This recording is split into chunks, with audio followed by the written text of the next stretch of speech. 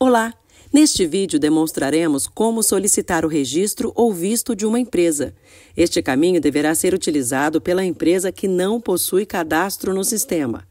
Caso possua cadastro, siga o procedimento contido no outro vídeo sobre este assunto. Leia com atenção as informações sobre a política de privacidade e assinale a opção disponível. Para iniciar, selecione o tipo de registro: registro, visto, consórcio ou órgão público seção técnica.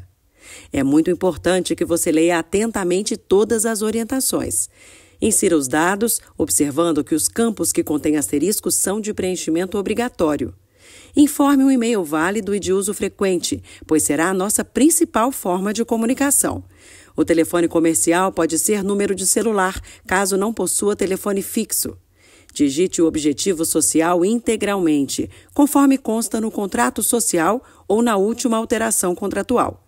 Informe os dados do responsável técnico, como indicado.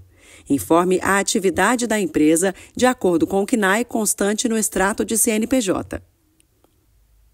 Para isso, temos duas opções. Você poderá selecionar os códigos através da lista de atividades, ou então, de uma forma mais simples, pelo código que consta no CNPJ. Como exemplo, vamos inserir o código 7112-0/00, que se refere a serviços de engenharia. Clique na opção Escolher por código e, em seguida, informe o número. Caso possua mais de uma atividade, clique no botão Adicionar atividade KENAI. Informe o endereço da empresa, conforme consta no extrato de CNPJ. Insira os documentos observando a extensão, tamanho e resolução. Como exemplo, vamos inserir o extrato de CNPJ. Clique no botão Escolher arquivo. Em seguida, selecione o arquivo do documento e clique em Abrir.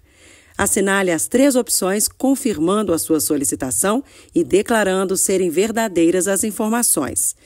Importante ressaltar que o CREA Minas poderá, a qualquer momento, solicitar a apresentação dos documentos originais ou autenticados.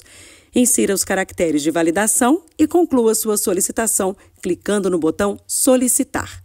Pronto, sua solicitação foi cadastrada.